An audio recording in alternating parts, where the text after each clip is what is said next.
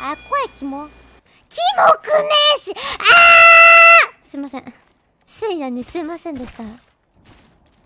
えでもね私マジでねちっちゃい頃からね学校のね先生にねあなたは声高いからダメとか言われたことめっちゃあるよ。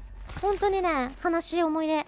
でも私はそれを乗り越えて今声を出している。それってすごく素敵なことだと思わない？こんな私でも